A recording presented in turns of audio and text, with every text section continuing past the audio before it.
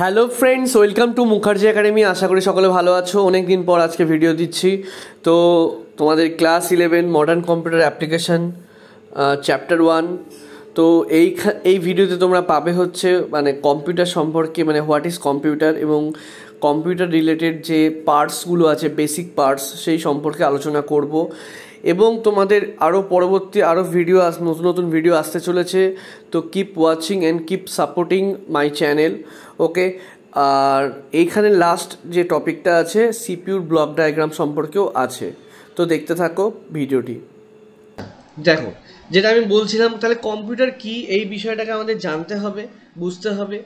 আমাদের কম্পিউটার একটা ইলেকট্রনিক্স যন্ত্র যে যন্ত্রটার সাহায্যে আমরা আজকে বর্তমান যুগে সমস্ত রকম কাজ করতে পারছি তাই না? আজকে যদি আমরা ডেফিনেশনে যাই হোয়াট ইজ কম্পিউটার ইংলিশে লেখা আছে আমি বোঝাচ্ছি তোমাদেরকে। দেখো what is computer computer a computer is an electronic machine or device accept uh, accept data from the user stored in computer uh, perform mathematical as well as logical operation and gives the required result or information is called a computer. তো বাংলা অর্থ এটাই হচ্ছে যে computer হচ্ছে একটা electronics device ঠিক আছে? যেটা কি করছে? আমাদের যে ইউজার আছে যারা ব্যবহারকারী তার থেকে ডেটা গ্রহণ করছে এবং সেটাকে কি করছে? স্টোর করছে কম্পিউটার মেমোরিতে এবং সেটাকে কি করছে? একটা পারফর্ম করছে ম্যাথামেটিক্যাল পারফর্ম করছে এবং লজিক্যাল অপারেশন করছে এবং করার ফলে কি হচ্ছে? তার একটা রেজাল্ট পাচ্ছে, ফলাফল পাচ্ছে, সেই ফলাফলটা আমাদেরকে দেখাচ্ছে। মানে কম্পিউটার এমন একটা যন্ত্র যেটা কিন্তু ইনপুটের উপর নির্ভরশীল। কারণ আমরা ইনপুট যখন দিয়ে থাকব তার ফলেই কিন্তু আমাদের আউটপুটটা পাবো। এবং এই ইনপুটের উপর ম্যাথামেটিক্যাল ক্যালকুলেশন বলো লজিক্যাল অপারেশন বলো, সমস্ত কিছু কাজগুলো করা হয়ে থাকে। এবং কম্পিউটার কিন্তু মানে কম্পিউটার কিন্তু ইলেকট্রিসিটি মানে হচ্ছে আমাদের কম্পিউটার কিন্তু একটা ইলেকট্রনিক ডিভাইস এই ইলেকট্রনিক ডিভাইস কিন্তু মানে একমাত্র কিন্তু ইলেকট্রিসিটিতেই কিন্তু রান করে। হ্যাঁ এখন বর্তমান যুগে আমাদের কি আছে? ল্যাপটপ আছে, ল্যাপটপ কিন্তু ব্যাটারিতে চলে, কিন্তু ব্যাটারিটা চার্জ দিতে গেলে ইলেকট্রিসিটি লাগে মানে ইলেকট্রিক লাগে। তো মনে রাখবে যে computer is a electronic device okay and এখানে আরও একটা কথা বলা আছে computer is a programmable machine that works on the instruction given by the user দেখো কম্পিউটার নিজে থেকে কোনো কাজ করতে পারে না। কম্পিউটারকে দিয়ে কোনো কাজ করাতে গেলে বা কম্পিউটার দিয়ে কম্পিউটার কোনো বুঝতে গেলে কাজ কম্পিউটার কিন্তু সবসময় ইনস্ট্রাকশনের উপর চলে। তুমি যে প্রোগ্রামটা কম্পিউটারকে দেবে, সেই প্রোগ্রামটার উপরে চলবে। কারণ প্রোগ্রাম তুমি যেরকম বানাবে, কম্পিউটার সেই রকম কাজ করবে। তাই কম্পিউটারকে যে ইনস্ট্রাকশনগুলো দেওয়া হয়, কম্পিউটার সেটাকেই ফলো করে এবং সেইভাবেই সে কাজ করতে থাকে। তো এইভাবেই কিন্তু চলতে থাকে কম্পিউটারে ওয়ার্কিং ঠিক আছে? অ্যান্ড কি বলছে দেখো computer runs only by the combination of hardware and software দেখো কম্পিউটার কিন্তু একমাত্র কাজ করতে পারে, একমাত্র কাজ করতে পারে কিসের ওপরে হার্ডওয়্যার আর সফটওয়্যার হার্ডওয়্যার এবং সফটওয়্যার থাকার ফলেই কিন্তু কম্পিউটার কাজ করতে পারে। হার্ডওয়্যার মানে হচ্ছে যেগুলো কিবোর্ড মাউস মনিটর সিপিইউ যেগুলো আমরা চোখে দেখতে পাচ্ছি, সেগুলোকে হার্ডওয়্যার বলা হয়। এবং সফটওয়্যার কি? সফটওয়্যার হচ্ছে ইনস্ট্রাকশন বা প্রোগ্রামগুলোকে বলা হয়, এই হার্ডওয়্যারগুলোকে কাজ করাতে যে সহায়তা করে। এবং হার্ডওয়্যার বা সফটওয়্যারগুলোকে কাজ করতে কম্পিউটার কিন্তু, আমাদের কম্পিউটারের মাধ্যমে কিন্তু এইগুলো চলছে। কারণ একটা হার্ডওয়্যার একটা হার্ডওয়্যার এবং একটা সফটওয়্যার মিলিত হয়েই কিন্তু একটা কম্পিউটার তৈরি হচ্ছে। ওকে তো এটাই ছিল কম্পিউটার একটা ডেফিনেশন কম্পিউটার ডেফিনেশন তোমরা নিশ্চয়ই ছোটোবেলায় পড়েছো যে কম্পিউটার কাকে বলে? এটা জাস্ট একটু ইন্ট্রোডাকশান দিলাম, বইতে হয়তো পাবে না। তো এবার তোমাদের সাথে একটু পরিচয় করিয়ে নিই। এখানে কারা কারা আছে কম্পিউটার মানে ফ্যামিলিতে দেখো কম্পিউটার ফ্যামিলিতে কারা কারা আছে? ফার্স্ট অফ অল তোমাদের মেন যে সদস্য, সেটা হচ্ছে সিপিইউ এই সিপিউর কথা তোমরা নিশ্চয়ই শুনেছ। সিপিইউ হচ্ছে প্রধান অংশ। এই যে অংশটা আছে, এই যে পার্ট যেটা তোমরা দেখতে পাচ্ছ, এই অংশটা না থাকলে কম্পিউটার কোনো কাজ করতেই সক্ষম নয়।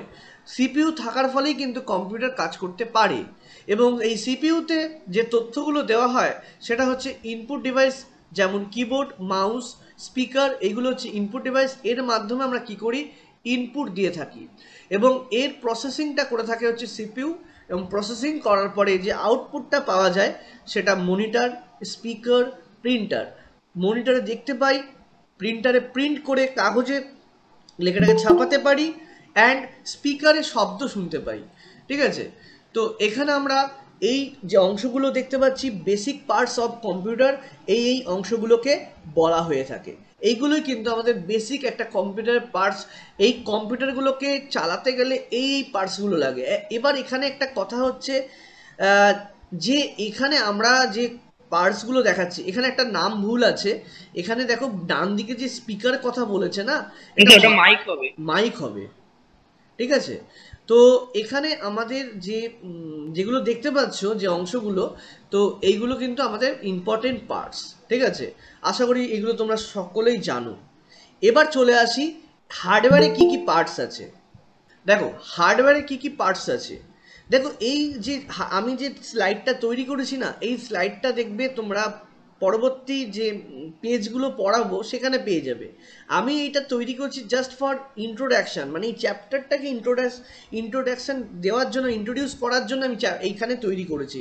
তোমরা এই যে দেখতে পাচ্ছ, এখানে আমি যেটা দেখিয়েছি বেসিক পার্টস অফ কম্পিউটার এগুলো বইতে পেয়ে যাবে, ঠিক আছে? বাট ইস কম্পিউটার এটা পাবে না, এটা মানে যেহেতু ছোটোবেলায় এটা পড়েছো, সে এই সম্পর্কে তোমাদের কিন্তু এখানে পাবে না। ঠিক আছে? কম্পিউটার কি বা কাকে বলে এইগুলো পাবে না। এবং পাবে হচ্ছে এই কম্পিউটার হার্ডওয়্যার সম্পর্কে এইগুলো তোমরা পরবর্তী ইয়েতে পাবে। তো এখানে দেখো, হার্ডওয়্যার কি আসলে বা কটা ডিভাইস আছে? হার্ডওয়্যার হচ্ছে যে ডিভাইসগুলো তোমরা এখানে ব্যবহার করো input device CPU output device storage device এইগুলোই কিন্তু হার্ডওয়্যার। মেজার পার্ট হচ্ছে কটা? চারটে কিন্তু মেজার পার্ট এই ইনপুট ডিভাইসগুলো তোমরা নাম জানো সেন্ট্রাল প্রসেসিং ইউনিট মানে সিপিইউ নাম জানো আউটপুট ডিভাইস স্টোরেজ ডিভাইস কী কী আছে, সমস্ত কিছু এই চ্যাপ্টারে তোমরা পেয়ে যাবে। এই চ্যাপ্টারটা তোমরা যদি একটু ভালো করে মন দিয়ে দেখো, দেখবে ইনপুট ডিভাইস অনেকগুলো ইনপুট ডিভাইস সম্পর্কে বলা আছে সিপিউর ভাগগুলো বলা আছে আউটপুট ডিভাইস বলা আছে স্টোরেজ ডিভাইস বলা আছে।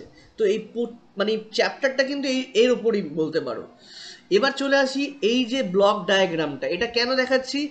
এখানে আমাদের বুঝতে হবে কম্পিউটার কীভাবে কাজ করে। কম্পিউটার কিন্তু ফার্স্ট অফ অল এখানে দেখবে কিবোর্ড থেকে যে ইনপুট কিবোর্ড বা মাউস যে ইনপুটটা আমরা দিচ্ছি, সেটা সিপিইউতে যাচ্ছে এবং সিপিইউ থেকে কোথায় সিপিইউতে কোথায় যাচ্ছে?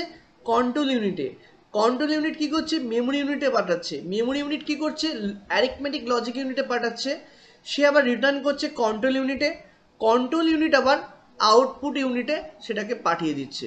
তো এইভাবে কিন্তু একটা প্রসেসিং চলে। এটা হচ্ছে সেন্ট্রাল প্রসেসিং ইউনিট আমাদের কম্পিউটারের প্রধান অংশ বা মেন অংশ যে, যেটা ছাড়া কোনোভাবেই কাজ করা সম্ভব না, এই এই যে সিপিউর যেটাকে বলা হয় কম্পিউটারের প্রধান ডিভাইস ঠিক আছে? মানে আমাদের কম্পিউটারের সমস্ত কাজগুলো এই ডিভাইসের সাহায্যেই করা হয়ে থাকে। এবং এই ডিভাইসটা কীভাবে কাজ করে? সিপিইউ মানে হচ্ছে সেন্ট্রাল প্রসেসিং ইউনিট তোমরা ছোটোবেলা থেকেই পড়েছো যে কম্পিউটারের প্রধান ডিভাইস বা computer brain of computer brain of computer is called CPU ঠিক আছে? সিপিউকে কিন্তু brain of brain of computer বলা হয়। কারণ কম্পিউটার ব্রেন যেটা মানে কম্পিউটার কাজ করে যার সাহায্যে, সেটা হচ্ছে সিপিইউর সাহায্যে।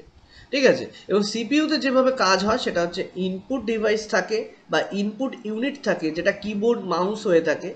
এবং এই কিবোর্ড মাউস থেকে যে তথ্যটা আমরা কম্পিউটারকে দিচ্ছি কম্পিউটার সেটা কন্ট্রোল ইউনিটে যাচ্ছে। মানে সিপিউর যে অংশটা, সেখানে কন্ট্রোল ইউনিটের ভিতর যাচ্ছে। কন্ট্রোল ইউনিট কি করছে? সেটাকে আবার মেমোরি ইউনিটে ট্রান্সফার করছে। মেমোরি ইউনিটে কী করছে? সেটাকে স্টোর করছে। যে তথ্যটা তুমি পাঠাচ্ছ, সেই তথ্যটাকে কি করা হয়? স্টোর করা হয়। স্টোর হয়ে গেলে সেটা আবার কন্ট্রোল ইউনিটে ফিরে আসছে। কন্ট্রোল ইউনিট থেকে আবার দেখো অ্যারিকমেটিক লজিক ইউনিটে ফিরে আসছে। এবং অ্যারিকমেটিক লজিক ইউনিট কি করে? কোনো গাণিতিক বা কোনো লজিক্যাল কাজ করে থাকে। সেখানে তোমাদের কি হচ্ছে? সেখানে কিন্তু তথ্যটাকে আবার সে কাজটা করে কন্ট্রোল ইউনিটে ফেরত পাঠাচ্ছে।